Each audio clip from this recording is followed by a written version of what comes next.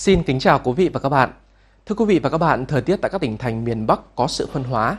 Nếu như ở phía đông chịu tác động chính của khối khí lạnh lệch đông tạo trường gió nam đến đông nam giàu ẩm, khiến cho mưa nhỏ mưa phùn xuất hiện nhiều vào đêm và sáng. Ban ngày trời nhiều mây, nắng ít có khả năng xuất hiện trong hai ngày tới. Nhiệt độ tăng dần từng ngày, trưa chiều mai ở mức từ 23 đến 26 độ, đến ngày 28 phổ biến từ 26 đến 29 độ. Còn khu vực phía Tây Bắc Bộ được sự che chắn của dãy Hoàng Liên Sơn nên ít chịu tác động của không khí lạnh. Trong ngày trời vẫn có nắng, nền nhiệt tại đây cao hơn các tỉnh phía Đông Bắc Bộ. Nhiệt độ cao nhất ngày mai từ 25 cho tới 28 độ, khu Tây Bắc từ 28 đến 30 độ. Hai ngày sau đó nhiệt độ là từ 26 đến 29 độ, riêng khu Tây Bắc từ 29 cho tới 32 độ. Theo nhận định xa hơn của các chuyên gia thời tiết, khoảng những ngày cuối tháng 3 đầu tháng 4, nền nhiệt Bắc Bộ bắt đầu có xu hướng tăng mạnh khả năng sẽ xuất hiện những điểm có nhiệt độ trên 35 độ, tuy nhiên tập trung chính ở khu vực vùng núi phía Tây Bắc Bộ. Tại Yên Bái trong đêm nay và sáng sớm mai, phía đông có mưa nhỏ rải rác, còn phía tây không mưa. Trời rét khi nhiệt độ thấp nhất từ 17 cho tới 19 độ, vùng cao rét đậm nhiệt độ chỉ ở mức từ 15 đến 17 độ. Trưa chiều mai phía đông nhiều mây, còn phía tây có nắng, nhiệt độ từ 23 đến 25 độ ở phía tây và từ 20 đến 22 độ ở phía đông và vùng núi cao.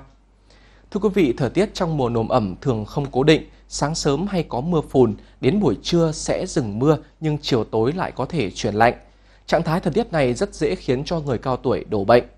Để phòng bệnh, quý vị chú ý giờ duy trì nền nếp sinh hoạt, ăn uống nghỉ ngơi điều độ, thường xuyên mặc đủ ấm, chú ý giữ ấm đầu, cổ, ngực, đôi bàn chân, giữ cho môi trường sống trong sạch, tránh xa khói bụi ô nhiễm, cùng với đó tập thể dục phù hợp với sức khỏe, Tập luyện đều đặn giúp cho cơ thể giữ được khối lượng cơ, cơ không bị teo nhão, giúp cho khí huyết lưu thông, tinh thần sảng khoái, củng cố và tăng cường sự hoạt động của hệ tim mạch, hô hấp, giảm đường huyết, giảm mỡ máu, ăn uống nhanh tiêu. Tiếp tục với tình thời tiết miền Trung, trong 24 giờ tới toàn miền phổ biến ít mưa, về đêm và sáng có mưa nhỏ ở một vài nơi, Bắc Trung Bộ có sương mù nhẹ.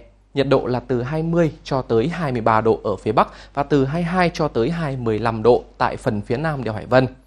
Ngày mai Thanh Hóa đến Thừa Thiên Huế có nắng nhẹ, nhiệt độ trưa chiều từ 24 cho tới 27 độ. Còn Đà Nẵng đến Phú Yên mức nhiệt là từ 27 đến 30 độ và 29 cho tới 32 độ là nhiệt độ tại Khánh Hòa đến Bình Thuận. Sau đó nhiệt độ tại đây cũng có xu hướng tăng dần từng ngày. Đến ngày 28, nhiệt độ trưa chiều đạt từ 26 cho tới 30 độ ở phía Bắc và từ 29 đến 32 độ ở phía Nam đèo Hải Vân.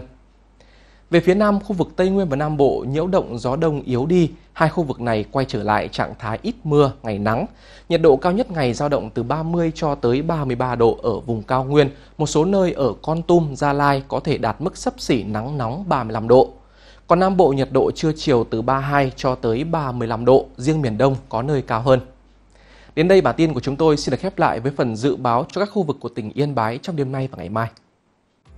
Dự báo thời tiết đêm 25 ngày 26 tháng 3 năm 2021, khu vực phía Tây gồm huyện Văn Chấn, huyện Trạm Tấu, huyện Mù Cang Chải và thị xã Nghĩa Lộ, nhiều mây, đêm không mưa, sáng có sương mù nhẹ, ngày giảm mây trời nắng, gió đông nam cấp 2, đêm và sáng trời rét, vùng cao đêm và sáng rét đậm.